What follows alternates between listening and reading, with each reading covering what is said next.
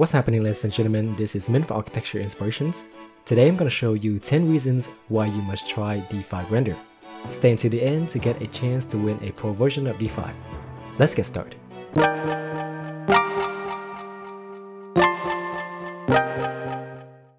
Number 1. It has a free version.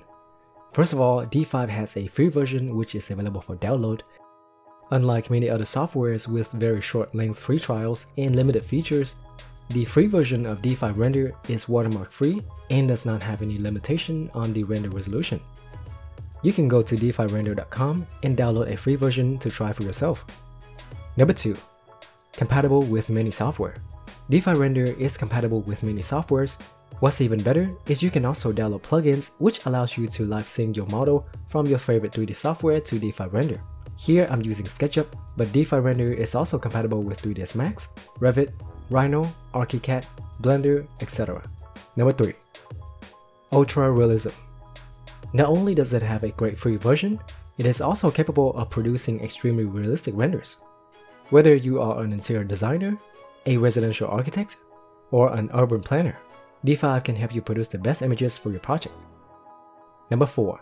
Great Material System One of the reasons why D5 Render can produce such realistic renders is because it has a PBR or a physically based rendering material system where the material properties are stored in individual texture maps.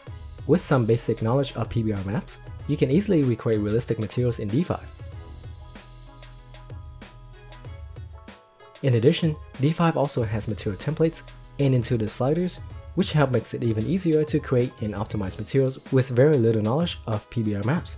If you want an even faster way to create materials, D5 Render has a huge library of realistic materials where you can easily import and apply to your objects.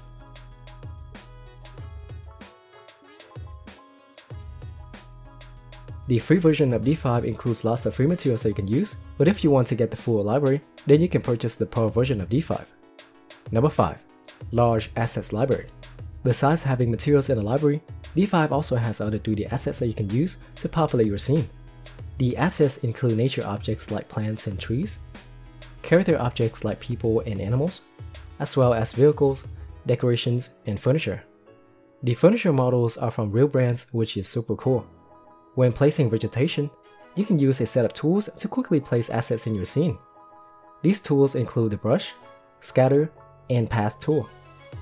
As you can see, with the large amount of materials and 3D objects along with the placement tools, D5 makes it really easy to build up your scene in a short amount of time. And similar to the materials in the library, even though D5 offers lots of free 3D assets, if you're interested in getting the full library with more than 8000 assets, then you can sign up for a pro version. The library gets updated continuously with new assets, so there are lots of customization possibilities in D5. Number 6. Customizable possibilities. Another part that adds to the high customization in D5 is the environment settings, for which you can choose either the Geo and Sky system or the HDRI system. For the Geo and Sky system, I can adjust the time of day and the north offset. These settings will affect the sun's location and its lighting. If you want to be even more precise, then you can set a specific date as well as the longitude and latitude. This is extremely useful for recreating accurate real-world lighting for your project. There are also sliders for the sun intensity and the disk size. When using the Geo and Sky system, you can also customize the clouds with these parameters here.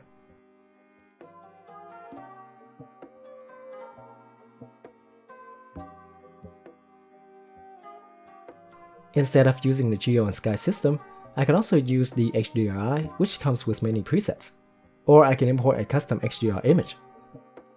Then I can adjust the other settings such as the light's intensity and rotation.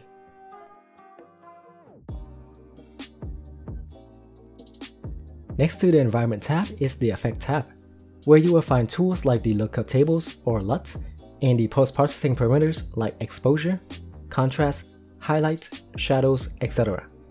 These tools make it really easy to edit your renders right inside of D5 without having to rely on post-production software like Photoshop. However, if you do want to use Photoshop when you export an image, you can choose to export the different channel maps such as the sky mask, ambient occlusion, material ID, etc., which can make it easier for you to edit your renders even more in post-production. Number 7. Fast and efficient. As you have already seen from the previous examples in this video, we can be very productive when working with D5 because of its high efficiency. This is because of it being a real-time render software. In an adjustment I make, whether it be applying a material to an object, adding a 3D asset to my design, or changing the lighting of my scene, it all happens in real time. If you go onto the D5 Render website, it has a list of recommended specifications for your computer configuration. In D5, if you click on this button, you will be able to choose between three options of real-time preview quality. Just choose whichever is the best fit for your system configuration. Even if your computer is not capable of handling the high quality preview settings, you can still produce realistic images in just a few minutes.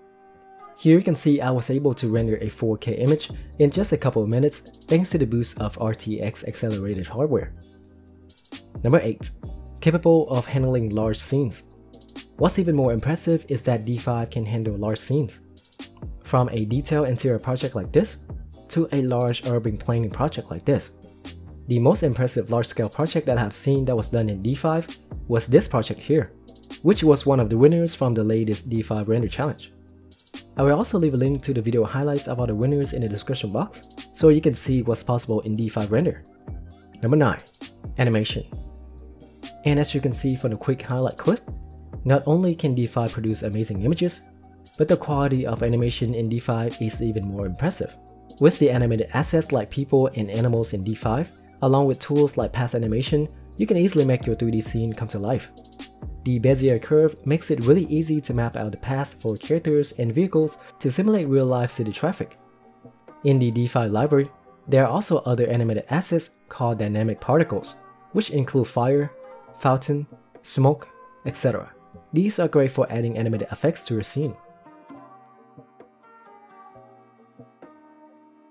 In the Environment tab, you can use the Weather system to enhance the atmosphere in your scene you will see settings for clouds, fog, wind, and precipitation, which adds rain or snow to your scene.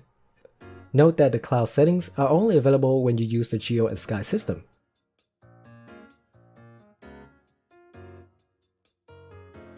As for the precipitation effect, you can use the first slider to switch between rain and snow.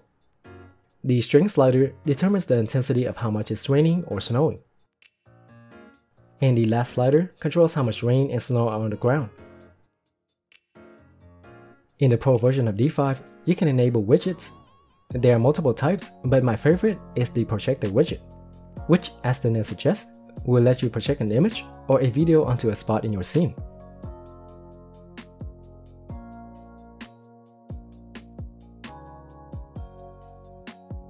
Number 10. D5 is always improving and updating. For example, in the latest version of D5, there are lots of new assets added to the library. Also, the cloud and fog effects have also been improved. And now you can add raw edges to objects by adjusting the slider on its materials. And those are the 10 reasons why you have to give D5 Render a try. To download the free version of D5, go to the link in the description box below. I'm also giving away 3 pro versions of D5. All you have to do is leave a like on this video be subscribed to my channel, and leave a comment below and let me know what is the first project that you render in D5. Anyway, that's all for today. Stay inspired guys, and I'll see you next time.